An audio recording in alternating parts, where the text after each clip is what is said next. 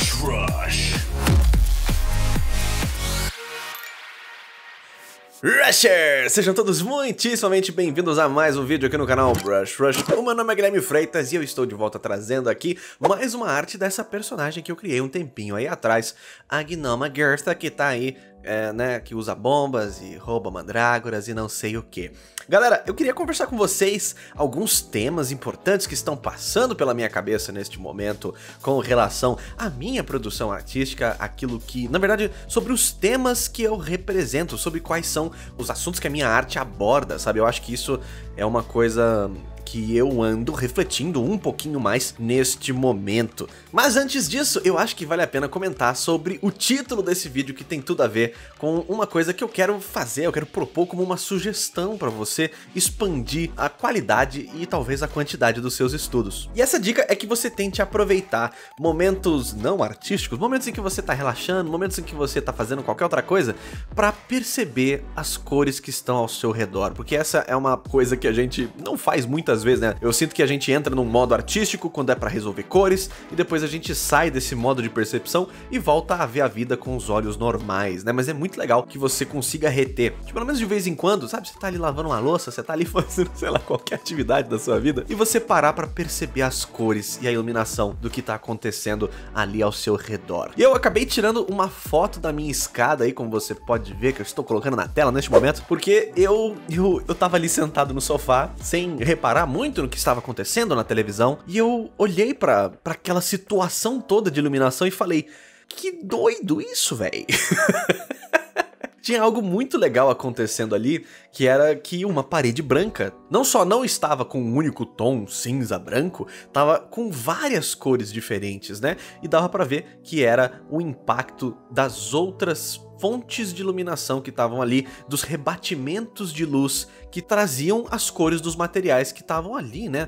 Ah, quando a gente fala, né, que a cor que a gente observa dos materiais é o padrão de luz que está sendo expelido para fora, né? O resto está sendo absorvido, as outras cores que existem na luz branca estão sendo absorvidas e só está voltando para o nosso olho aquelas cores que a gente consegue enxergar mesmo, né? Então, o material que aparece verde só é verde porque essa é a faixa da luz que ele não absorve, é a faixa que é refletida de volta. E esse reflexo, né, a ideia de que a cor está sendo refletida aconteceu muito claramente com a luz azul do céu vindo ali naquele canto direito e a parte do chão, né, a luz, a luz do sol que atinge a parte do chão ilumina tanto aquilo, né, que tem um, um impacto até radial assim a partir daquilo ali na parte da parede bem próxima do solo. E eu tava com certa dúvida no começo dessa arte de como produzir um fundo, daqueles fundos genéricos que eu gosto de fazer, e essa foto foto foi crucial para eu pensar num padrão de cores que fizesse sentido ali para mim. E eu tentei aplicar muito do que eu vi nessa fotografia dentro da pintura desta arte aqui. Então fica essa sugestão como forma para você praticar, como uh, tirar uma foto e tentar aplicar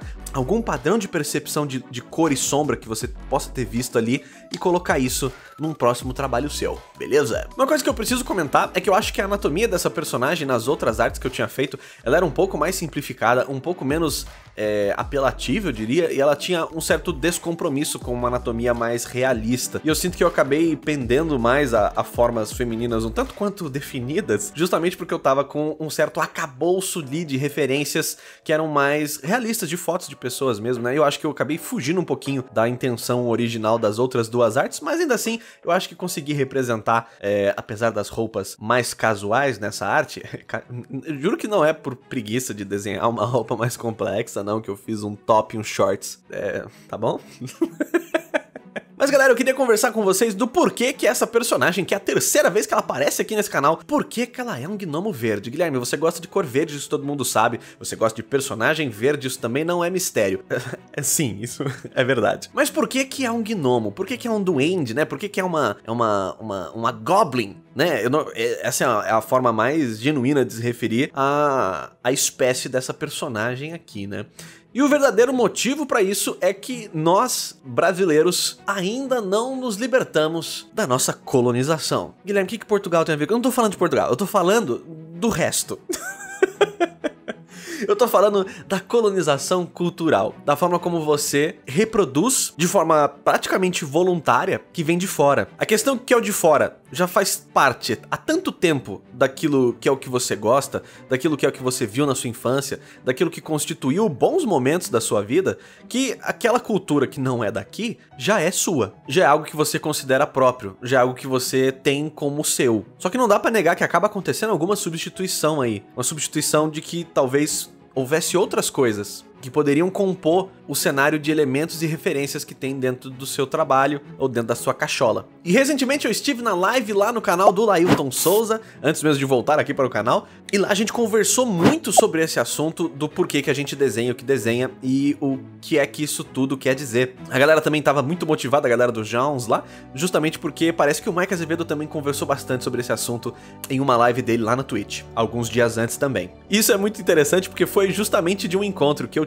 com o Mike Azevedo e o Evan Amundsen lá no evento online do Utopia Connect, que aconteceu aí no finalzinho do mês passado, no comecinho desse mês, que eu descobri coisas muito interessantes de que é, esses elementos culturais que a gente tá representando com certa frequência aqui, de orcs, elfos e tudo isso que tem a ver com esse universo meio Tolkien, meio Senhor dos Anéis, lá na Noruega, da onde ele fala, são coisas que a avó dele contava para ele como histórias, sabe? São coisas que fazem parte do, do arcabouço folclórico de um povo também, né? De alguma forma. Lógico que não é. Eles não estão lá falando de Rohan e do Gandalf. Tolkien não inventou tudo aquilo, né? No sentido de que ele deu forma, ele deu a sua originalidade, ele deu tudo aquilo que era próprio dele para um reservatório muito maior de elementos que já eram uh, antigos e clássicos também, né? Então é engraçado que ele eleva a cultura, né? Essa ideia toda do Senhor dos Anéis, do Tolkien, do não sei o que, dos hobbits, dos goblins, dos orcs, dos magos e tudo mais, tudo isso é elevado pela representação artística que estava presente de alguma forma ou de outra na cultura de algum povo de algum país. Então quando o Evan Munson faz seus desenhos maravilhosos representando elfos e coisas e trecos e, e uh, ele não tá só fazendo isso de um lugar de, de interesse adquirido, ele tá representando parte daquilo que é fundamentalmente dele. Isso me deixou pensando, se eu fosse agir da mesma forma, o que que eu estaria desenhando então? O que que eu teria que reproduzir? O que, que o que estaria aqui nesse canal? Na, no meu portfólio e tudo mais. O que seria isso na minha cultura, né? Porque eu tenho uma cultura que é minha, eu acho. Porque a gente cresce, eu não sei qual é o, o background de vocês, mas eu reparei isso na, na, no meu crescimento. Eu cresci muito desaculturado daquilo que era meu, que era próximo, que era regional e completamente olhando para fora, olhando para aquilo que era do Japão, aquilo que era do, dos Estados Unidos, aquilo que era de um lugar que não fosse aqui, que não fosse lugar comum. Também porque a tentação de se observar essas outras coisas é, é, facilmente explicada, né? Os livros do Senhor dos Anéis podem ser maravilhosos, mas eu tenho certeza absoluta que os filmes expandiram imensamente a popularidade desses conceitos, desses personagens também. E por consequência dessa cultura, desses elementos dessa cultura. Então o que eu tô percebendo agora é que eu preciso, se quiser encontrar algo tão meu quanto o Evan Amundsen tem com o próprio trabalho, eu vou ter que me reconectar com uma coisa da qual eu não tenho tanta familiaridade assim, que é a minha própria cultura, aquilo que é do Brasil. Mas eu ainda não vou ter o incrível jogo de Play 4 com um monte de coisa da cultura brasileira para aprender. Eu não vou ter aquele filmão cheio de efeitos especiais e explosões com dragões e etc.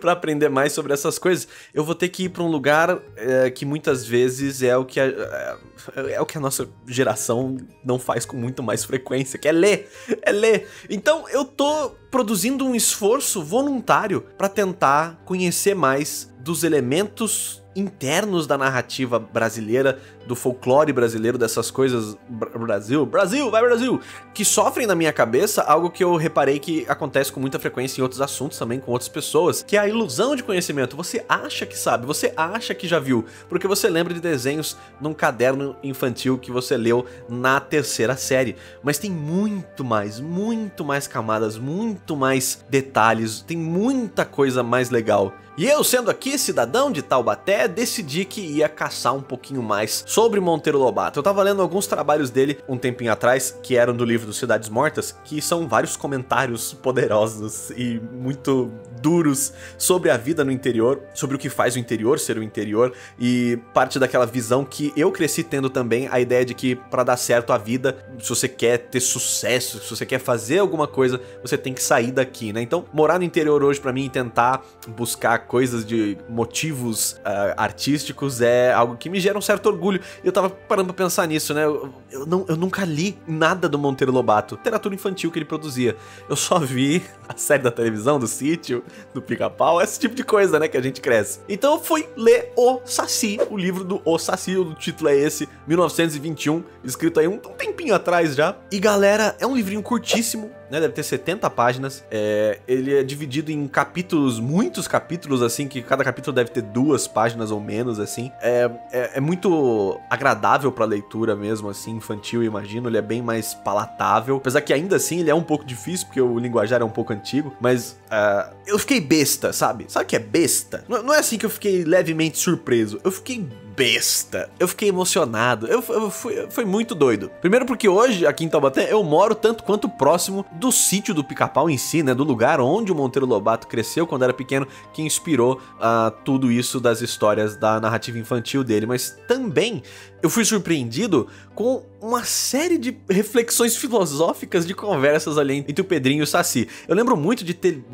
visto essa história representada é, na televisão mesmo, né? De tentar capturar o Saci, pegar, botar ali a peneira em cima do roda-moinho e tudo mais. Mas o que eu acabei encontrando foi um personagem tão profundo, tão mais interessante do que aquela figura do Saci que a gente vê em desenhos é, de, de caderneta infantil, que eu fiquei assim realmente muito surpreso. Eu tô doido para trazer isso mais aqui pro canal também e ver como é que eu consigo aplicar é, um pouco desse novo interesse que eu tenho, que agora é um interesse que eu tô adquirindo, porque uma vez que eu parei para ver o que é próprio, eu tô vendo a complexidade e a dimensão daquilo que antes me parecia batido, me parecia algo que não valia a pena nem, nem ter como tema no meu trabalho. Então, eu espero nas próximas artes aqui do canal trazer com mais frequência coisas que tenham a ver com a cultura cultura brasileira, não porque tem, existe um, né, uma, uma obrigação moral de fazer isso, mas porque, mas porque é seu, sabe? É uma coisa minha, é uma coisa sua, é uma coisa que nos pertence e que a gente não tá reparando. É, eu, eu tô me sentindo. Sabe quando você acha dinheiro no, no bolso da calça? É.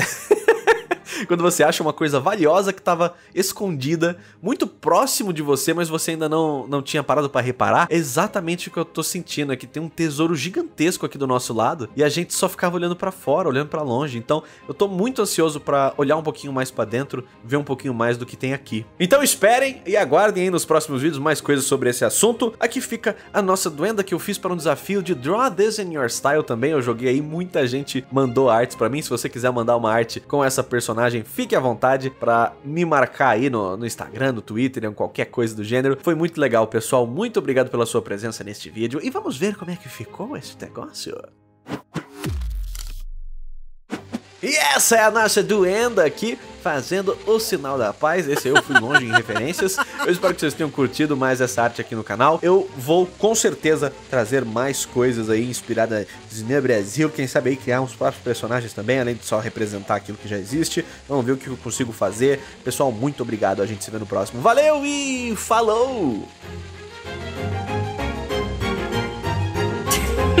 Não. E aí, como é que vai ser o esquema?